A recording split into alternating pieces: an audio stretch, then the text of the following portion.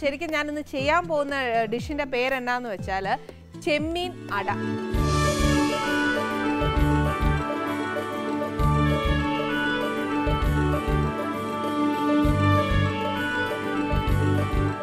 ഈ ചെമ്മീൻ അട ചെയ്യാനായിട്ട് ഒത്തിരി എളുപ്പമാണ് നമ്മൾ ഇതിനു മുന്നേ അന്നേരം ഒരു ഇലയപ്പം ചെയ്തായിരുന്നു. പക്ഷെ അത് ഈ പറഞ്ഞ കൂട്ട് എന്നാ പറയുന്നത് തേങ്ങായും ശർക്കരയും അണ്ടിപ്പരിപ്പ് മുന്തിരിങ്ങയും ഒക്കെ വിളയിച്ചൊക്കെ എടുത്തേച്ച് അടയ്ക്കകത്ത് വെക്കുന്നതാണ്. പക്ഷേ ഇതിനകത്ത് ചെയ്യാൻ പോകുന്ന ചെമ്മീനാണ് വെക്കാൻ പോകുന്നത്. സെയിം സാധനം തന്നെയാണ് പക്ഷേ മാവ് കുഴയ്ക്കുന്നതിനകത്തും ഒക്കെ ഒരു ഇച്ചിരി വ്യത്യാസമുണ്ട്. അതെന്നാന്ന് വെച്ചാൽ ആദ്യം നമുക്കൊരു കാര്യം ചെയ്യാം. എന്നാന്നോ? ഇൻഗ്രീഡിയൻസ് എന്നാന്നൊക്കെ പറയാം. അതനുസരിച്ച് നമുക്ക് ഈ പറഞ്ഞ കൂട്ട് എന്നാ ചെയ്യേണ്ടതെന്നുള്ളതും ഞാൻ വ്യക്തമായിട്ട് പറഞ്ഞുതരാം. അല്ലെ? മൊത്തമായിട്ട് പറയുമ്പോഴത്തേനും ഉണ്ടല്ലോ മൊത്തം കൺഫ്യൂഷൻ ആയി പോകും ഇതിന് എന്നാക്ക വേണ്ട? ചേരുവകളെന്ന് വെച്ചാൽ വെളിച്ചെണ്ണയിൽ ഉണ്ടാക്കാനാണ് ഏറ്റവും നല്ല ടേസ്റ്റ് അപ്പം നമുക്ക് ആദ്യം കുറച്ച് വെളിച്ചെണ്ണ വേണം. അതല്ല നമ്മുടെ വീട്ടിൽ ഇപ്പം പെട്ടെന്ന് വെളിച്ചെണ്ണ ഇല്ല എന്ന് തോന്നുവാന്നേൽ ഏതെങ്കിലും ഒരു വെജിറ്റബിൾ ആണ് പിന്നെ നമുക്ക് വേണ്ടിയത് ഇച്ചിരി സവാളയാന്നേ അതിങ്ങോട്ട് കൊത്തി അരിഞ്ഞെടുക്കണം. അതായത് കുഞ്ഞായിട്ട് അരിഞ്ഞേക്കുക പിന്നെ വേണ്ടിയത് കുറച്ച് പച്ചമുളക് കുറച്ച് വെളുത്തുള്ളി കുറച്ച് ഇഞ്ചി പിന്നെ അന്നേരം ഒരു ഇച്ചിരി ഉപ്പ്. പിന്നെ വേണ്ടിയത് കുറച്ച് മുളക് പൊടി മഞ്ഞപ്പൊടി ഗരം മസാല പൊടിച്ചതാണ്. പിന്നെ കുറച്ച് കുരുമുളക് കുറച്ച് പെരിഞ്ജീരകപ്പൊടി പിന്നെ നമുക്ക് കുറച്ച് ചെമ്മീനാ വേണ്ടിയ. ഇതൊക്കെ മുഴുത്ത കൊഞ്ചു വേണ്ട ഒരു ഇടത്തരം പിന്നെ കുറച്ച് പുതിന ഇല. ഇച്ചിരി മല്ലിയില വേണം. ഇച്ചിരി കറിവേപ്പില വേണം. അത് എന്റെ കാര്യമായിട്ട് ഇട്ടേക്കുവാ വെച്ചേക്കുവാന്നേ അതെന്നാന്നറിയോ? ഈ പറഞ്ഞ പോലെ തണ്ടെടുത്ത് വെച്ച് ഇച്ചിരി അങ്ങ് പിച്ചി പറിച്ച് ഇടുവാന്നേൽ എനിക്ക് അങ്ങോട്ട് തൃപ്തി പോരാ. അതുകൊണ്ട് ഞാൻ എന്നാ ചെയ്തു? എന്റെ യഥത്തിനിടാൻ വേണ്ടിയിട്ട് ഞാൻ പറഞ്ഞ പോലെ അങ്ങ് വെച്ചേക്കുവാണ്. അതുകൊണ്ട് അതിന്റെ അളവില്ല നമ്മുടെ ഇഷ്ടം പോലെയാണ് പിന്നെ വേണ്ടിയത് കുറച്ച് തക്കാളി അരിഞ്ഞതാണ് പിന്നെ ഇനി ഞാൻ മാവ് കുഴയ്ക്കുന്ന കാര്യം പറഞ്ഞില്ലേ? അതെന്നാന്നറിയോ? നമ്മൾ സാധാരണ ഇടിയപ്പത്തിന് കുഴയ്ക്കുകയില്ലേ? എന്ന് പറഞ്ഞ പോലെ തിളച്ച വെള്ളത്തിൽ നമ്മൾ അരിപ്പൊടി കുഴച്ചെടുക്കുക. അരിപ്പൊടി കുഴച്ചെടുക്കുമ്പോൾ നമ്മൾ ഇടിയപ്പത്തിന് പിഴിയുന്ന പോലത്തെ ലൂസ് അന്ന കട്ടിയായിട്ടും ആയിട്ട് കുഴയ്ക്കുക. കുഴയ്ക്കുക എന്ന് പറഞ്ഞാൽ ആ വെള്ളം നല്ലോണം നമ്മൾ സ്പൂൺ വെച്ച് ചൂടോടാക്കുകയല്ലേ?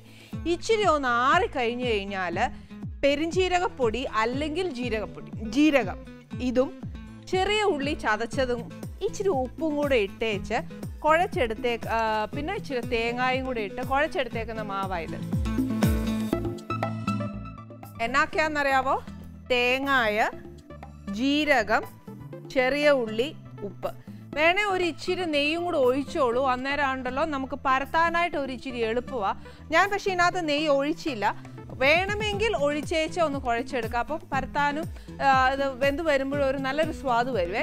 ഇപ്പം ആദ്യം നമുക്ക് എന്നാ ചെയ്യേണ്ടതെന്ന് വെച്ചാൽ ഇതൊരു ഇച്ചിരി പ്രയാസപ്പെട്ട പണി ആയതുകൊണ്ട് ചൂടോടെയൊക്കെ കുഴയ്ക്കാനൊക്കെ ഇച്ചിരി പാടാണ് അന്നേരം ഇച്ചിരി കുഴച്ച് നേരത്തെ വെച്ചേക്കുക ഇനി എന്നാ ചെയ്യേണ്ടതെന്ന് വെച്ചാൽ നമുക്ക് ആ മസാല എങ്ങനെ ഉണ്ടാക്കണ്ടേന്നല്ലേ? അതിന് അടുപ്പ് അങ്ങോട്ട് കത്തിച്ചേച്ച് ഇന്ന് തനി നമ്മൾ എന്നാ പറയുക നല്ല നമ്മുടെ വീട്ടിലൊക്കെ ഉണ്ടാവുന്ന ഒരു മണമൊക്കെയാണ് ചെമ്മീനൊക്കെ ഒന്ന് എന്നാ വെന്ത് കഴിയുമ്പോഴത്തേക്ക് ഉണ്ടാവുന്ന ഒരു മണം ഒരു പ്രത്യേകമാണേ. ചട്ടി ചൂട് ആയി കഴിഞ്ഞാൽ ഇതിനകത്തോട്ട് ഒരു ഇച്ചിരി എണ്ണ. എണ്ണയെന്ന് പറയുമ്പോഴത്തേന് നമുക്ക് ലാസ്റ്റ് എല്ലാം വെന്ത് കഴിയുമ്പോഴത്തേനും ഉണ്ടല്ലോ. ആ കൊഞ്ചൊന്ന് ഇച്ചിരി മൊരിഞ്ഞു വരികയും വേണം. എന്നാൽ ആദ്യം നമുക്ക് ഇത്രയും സാധനങ്ങളെല്ലാം വഴന്ന് കിട്ടാനും കൂടി ഉള്ളതാണ് അന്നേരം ആ കണക്കിനായിട്ട് നമ്മൾ എണ്ണ ഒഴിക്കുക. പിന്നെ കൊഞ്ച് മൂക്കാനായിട്ടൊന്നും ഒഴിക്കേണ്ട. കാര്യം എന്നാണെന്നറിയോ എല്ലാം വെന്ത് കഴിഞ്ഞ് വരുമ്പോഴത്തേന് എണ്ണ തെളിയും. എണ്ണ തെളിഞ്ഞ് കഴിയുമ്പോൾ ആ ഉള്ള എണ്ണയെ വെച്ച് അങ്ങോട്ട് മുരിച്ചെടുത്തേച്ചാൽ മതി. അപ്പോൾ ഒരുപാട് എണ്ണ ഒഴിച്ചു എന്നുള്ളൊരിതും വരികയില്ല. ഇന എണ്ണ ചൂടായി കഴിഞ്ഞാൽ ഇതിനകത്തോട്ട് നമ്മുടെ ഉള്ളി ഇടണേ. ഉള്ളി ഇച്ചിരി കൂടുതലായിട്ട് ഇരുന്നോട്ടെ അല്ലെങ്കിൽ അരപ്പ് കാണുകയില്ല. ഇതൊരു മുഴുത്ത ഒരു രണ്ട് ഉള്ളിയോളം എടുത്തിട്ടുണ്ട്. ഇനി എന്നാന്ന് വെച്ചാൽ ഉള്ളി കൂടുതൽ എടുത്താൽ പോലും ഒരു കാര്യം ഞാൻ പറയാം. ഉള്ളി നല്ലതായിട്ടൊന്ന് മൂക്കണം. ഇല്ലയിലുണ്ടല്ലോ ആ പച്ചച്ചൊവ കാണും. അത് ഒക്കിയല്ല. ഈ ഉള്ളി മൂക്കുന്ന കൂട്ടത്തിൽ തന്നെ നമുക്ക് ആ പച്ചമുളക് ഇഞ്ചി വെളുത്തുള്ളി. പച്ചമുളകൊക്കെ എരു കണക്കാക്കി ഇട്ടോണം. ഇതിന്റെ കൂട്ടത്തിൽ നമ്മൾ മഞ്ഞപ്പൊടി അല്ല മുളക് പൊടി ഇടുന്നുണ്ട് കുരുമുളക് പൊടി ഇടുന്നുണ്ട്. ഇത് രണ്ടിനും എരിവുള്ളതാണ് അതുകൊണ്ട് പച്ചമുളക് നോക്കിയേച്ച് വേണം ചേർക്കാൻ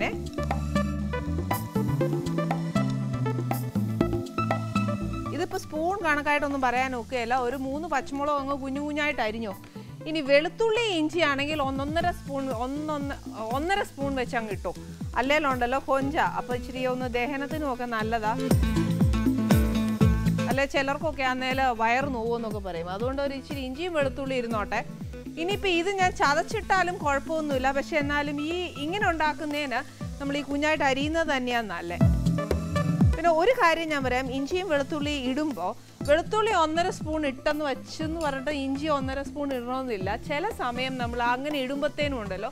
ഇഞ്ചിയുടെ ഒരു കുത്തൽ വെച്ചൊരു മുന്നേ നിൽക്കുവേ ഇഞ്ചിന് ബേസിക്കലി ഒരു എന്നാ പറയുക ഒരു ഒരു ടേസ്റ്റ് ഇല്ലേ? അത് മുന്നോട്ട് വരും.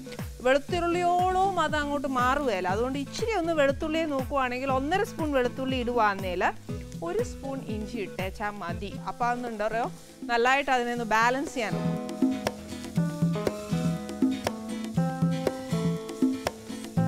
ഇഞ്ചിയും വെളുത്തുള്ളിയും നമ്മുടെ ഉള്ളിയും കൂടെ എണ്ണയിൽ വഴന്നു കഴിഞ്ഞാൽ എനിക്ക് എന്തായാലും ആ മണം വന്നു കഴിയുമ്പോഴത്തേക്ക് ഇച്ചിരി കറിവേപ്പില ഇട്ടില്ലെങ്കിൽ വലിയ പ്രയാസമാണ് അതുകൊണ്ട് ഞാൻ ഇതിന്റെ കണക്ക് ഞാൻ പറയുകയില്ല. ഞാൻ ഇട്ടുകൊണ്ടേയിരിക്കും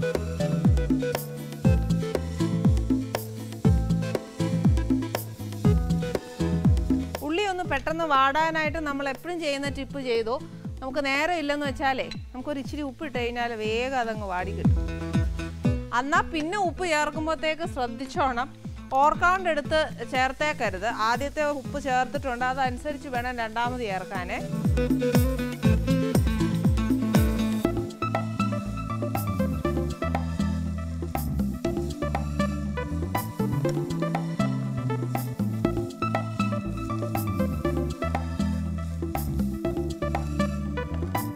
ഇച്ചിരി നല്ലതായിട്ട് ബ്രൗൺ ആയിട്ടുണ്ട്. ഒരുപാട് ബ്രൗൺ അല്ല. എന്നാലും ആ ഒരു എന്നാ പറയുക നമ്മൾ ഇടുമ്പോൾ ഒരു വൈറ്റ് കളർ ഇപ്പം ഞാനൊന്ന് ബ്രൗൺ ഏകദേശം ബ്രൗൺ ആയിട്ടുണ്ട്. മൊത്തം അങ്ങ് ക്രിസ്പി ബ്രൗൺ അല്ല. ഒന്ന് വാടിയിട്ടുണ്ട്. ഇനി ഇതിനകത്തോട്ട് ഞാൻ ഇടാൻ പോകുന്ന പൊടിയോ അല്ലാവ ഫസ്റ്റ് ഇച്ചിരി മഞ്ഞപ്പൊടി. പിന്നെ കുറച്ച് മുളക് പൊടി. എരു കണക്കാക്കി വെച്ച് വേണം മുളക് പൊടിയൊക്കെ ചേർക്കാൻ ഞാനിപ്പോൾ ഒരു ഒന്നര ടീസ്പൂൺ ഇട്ടേക്കുന്നത് പോരാന്ന് തോന്നു അന്നേലും ഒരിച്ചിരി കൂടി ഇട്ടു. കുറച്ച് ഗരം മസാല. കുറച്ച് കുരുമുളക്. പിന്നെ വേണ്ടത് കുറച്ച് പെരിഞ്ചീരകം ഇതൊന്ന് ഇച്ചിരി നല്ലതായിട്ടൊന്ന് മൂപ്പിക്കണം. മൂപ്പിക്കുക എന്ന് പറഞ്ഞാൽ അതിന്റെ ആ ഒരു പച്ച ചൊവ അങ്ങ് മാറണം റോ ടേസ്റ്റ് അങ്ങ് മാറണേ. ആ പൊടി ഒന്ന് മൂക്കണം അത്രയേ ഉള്ളൂ. പൊടി ഇടാൻ നേരം ലോ ഫ്ലെയിമും ഇട്ട് കഴിയുമ്പത്തേന് ഇച്ചിരി ഹൈ ഫ്ലെയിമേ വെച്ചു.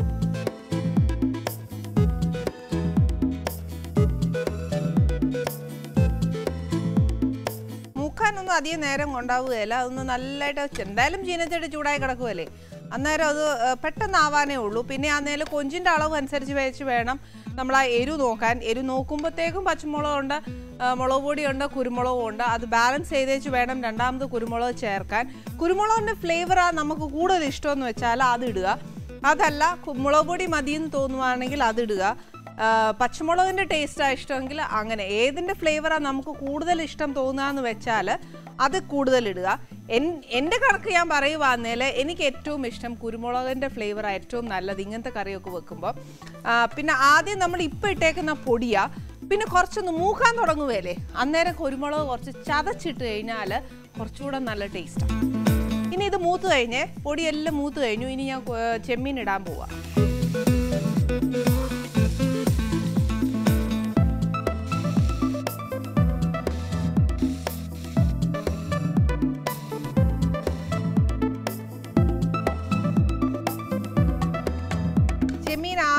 ഈ പറഞ്ഞ കൂട്ട് നമ്മുടെ ആ അരപ്പേലൊന്ന് പെരണ്ട് കഴിഞ്ഞാൽ ഒരു ഇച്ചിരി മല്ലിയല മല നമ്മുടെ പുതിനായിലയല്ലേ അതൊരു ഫ്ലേവറിങ് മാത്രം മതി. ഒരുപാട് വേണ്ട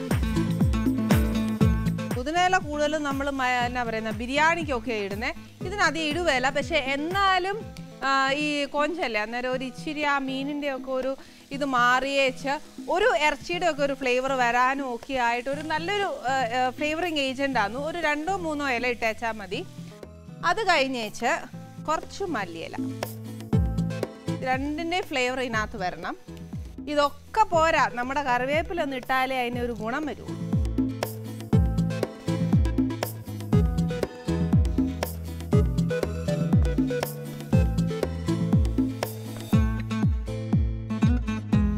നേരത്തെ കുറച്ച് ഉപ്പിട്ടായിരുന്നു. ഇനി എന്നാലും കുറച്ചുകൂടെ ഒരിച്ചിരി ഉപ്പിടാൻ പോവാ.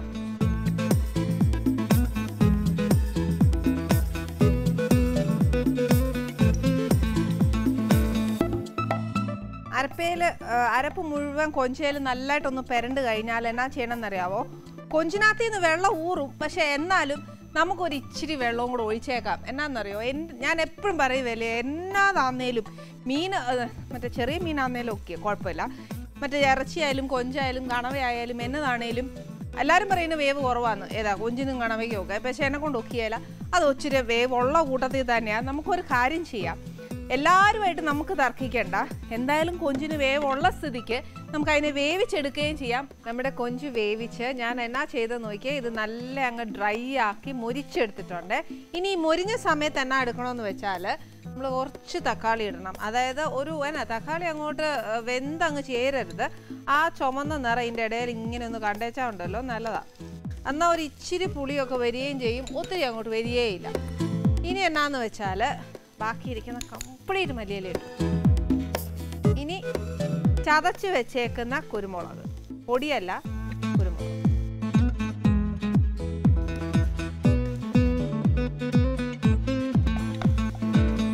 വാങ്ങുന്നതിന് മുമ്പ് നമ്മുടെ കറിക്ക് ഒരു ഇച്ചിരി കൂടി രുചി വരണം എന്നുണ്ടെങ്കിൽ രണ്ട് മൂന്ന് കറിവേപ്പിലയും കൂടി ഇട്ടേച്ച് ഒന്ന് ഒരു ഡീപ് ഫ്രൈ മാത്രം.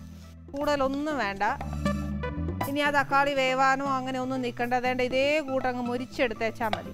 ഇല്ല നമ്മൾ ഗ്രേവി ആയിട്ട് വെക്കുവാണെങ്കിൽ ഇതിനകത്ത് ഉണ്ടാവുന്ന ഒരു പ്രയാസം എന്നാണെന്നറിയാവോ നമ്മൾ അട അങ്ങോട്ട് വെച്ചേച്ച് പിന്നെ വേവിക്കാനായിട്ട് വെക്കുമ്പോഴത്തേന് അതിങ്ങനെ ഒലിക്കുവേ അതിന്റെ ആ ഗ്രേവി. അപ്പോൾ അത് കൊള്ളുകയല്ല. അന്നേരം ആ നമ്മുടെ ഇലയപ്പത്തിലെല്ലാം ആയിരിക്കും.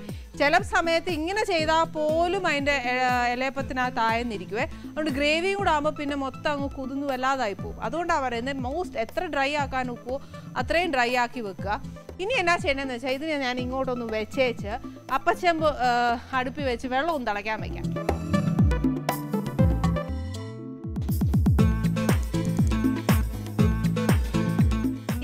ചൂടാവട്ടെ. അന്നേരത്തേക്ക് ഞാൻ ഇത് എങ്ങനെയാ പരത്താനുള്ളത്? നമുക്ക് എല്ലാവർക്കും അറിയാം ഇലയപ്പം എങ്ങനെയാണ് ചെയ്യേണ്ടതെന്ന്. പക്ഷേ അമ്മമാരൊക്കെ ആണെങ്കിൽ അതിനെ നല്ല അസലായിട്ട് കുഞ്ഞായിട്ട് പരത്തിയെടുക്കുവേ.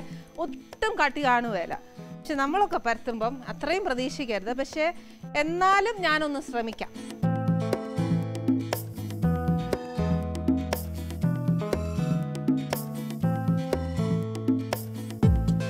കട്ടി കുറച്ച് നമുക്ക് പരത്താവോ അത്രയും കട്ടി കുറത്ത് പരത്തുക. അല്ലെന്നുണ്ടെങ്കിൽ അടക്കി ഇച്ചിരി കട്ടി കൂടുതൽ അന്നേലുണ്ടല്ലോ ടേസ്റ്റ് പോകും അങ്ങനെ അന്നേലും ടേസ്റ്റ് പോകും ഞാൻ ആദ്യമായിട്ടൊക്കെ ഇത് പരത്താൻ ശ്രമിച്ച സമയത്തൊക്കെ ഇടിയപ്പത്തിന്റെ അച്ചെടുത്തേച്ച് പിഴിഞ്ഞിട്ട് ഇങ്ങനെ പരത്തി നോക്കിയിട്ടുണ്ട്. എന്നാക്ക പണി എളുപ്പം വിദ്യ നോക്കിയിട്ടുണ്ടെന്നറിയാം? ചപ്പാത്തി പരത്തുന്ന എടുത്ത് വെച്ചേച്ച് അതും ശ്രമിച്ചു നോക്കിയിട്ടുണ്ട്. ഇതൊന്നും ഒക്കെയല്ല നമ്മൾ ഈ കൈ വെച്ച് പരത്തുന്നതേ നടക്കത്തുള്ളൂ. അത് അമ്മ എപ്പോഴും പറയും ഈ മൂന്ന് വിരൽ വെച്ചിട്ട് ഇച്ചിരി വെള്ളം തൊട്ട് തൊട്ട് തൊട്ട് തൊട്ട് മാക്സിമം തിന്നായിട്ട് പരത്താൻ ഒക്കുന്നതാണ് ഇലയപ്പത്തിന്റെ സക്സസ് എന്ന് പറയുവേ. അതുകൊണ്ട് മാക്സിമം എത്ര നമുക്ക് തിന്നായിട്ട് പരത്താൻ ഒക്കുമോ അത്രയും ചെയ്യുക. പിന്നെ ഇടയിലൊക്കെ പൊട്ടി പോവാതെയും ഒക്കെ അറ്റമൊക്കെ ഇച്ചിരി പൊട്ടിയാലും പ്രയാസമൊന്നുമില്ല. പക്ഷേ ഇടയിലൊന്നും പൊട്ടി കഴിഞ്ഞാൽ നമ്മുടെ ഈ അരപ്പ് വെക്കുമ്പോഴത്തേനും ഉണ്ടല്ലോ അതിന്റെ ഇടയിൽ കൂടെയൊക്കെ ഇങ്ങനെ ഒലിച്ചു വരും. ഇത്രയും പരത്തിയതിന് ശേഷം അതിനകത്തോട്ട് ഒരു സ്പൂണ്. ഈ അരപ്പുണ്ടല്ലോ തന്നെ തിന്നാനാന്നേലും നല്ല സ്വാദാന്നേ. ഒരു വശത്തെ വെക്കാവുള്ളേ അരപ്പ്.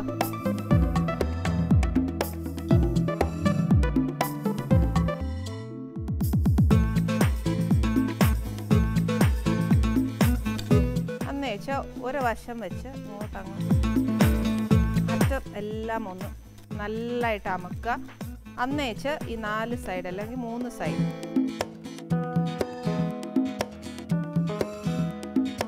ആക്കി വെച്ച് ഇതിനകത്തോട്ട് ഓരോന്നായിട്ട് അങ്ങ് വെച്ചു.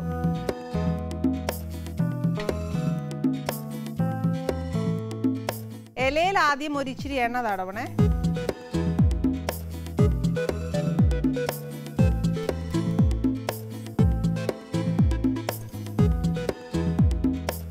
ഒത്തിരി മുഴുത്ത ഉരുള എടുക്കണ്ട. ഒരു മീഡിയം സൈസ് എടുത്തേച്ചാൽ മതി. എന്ന് വെച്ചാൽ അതിനെ മാക്സിമം എത്ര പരത്താവോ അത്രയും പരത്താം.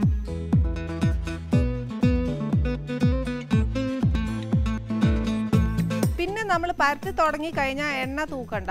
അല്ലാതെ നമ്മൾ വെള്ളത്തെ തൊട്ടേച്ച് വേണം നമ്മൾ അതിനെ പരത്തി എടുക്കാനായിട്ട്. പിന്നെ ഇലയപ്പാന്നേൽ നെയ്യ് തൊട്ട് തൂക്കുന്നത് നല്ലതാണ് കാരണം നമ്മൾ ഇലയപ്പത്തിനൊക്കെ അന്നേൽ ആ നെയ്യേല വിളയിക്കുന്ന തേങ്ങായും എല്ലാം അന്നേരം ഇതിനകത്ത് ഒരു ഇച്ചിരി നെയ്യെ തൊട്ട് തടവുന്നതുകൊണ്ട് കുഴപ്പമൊന്നുമില്ല.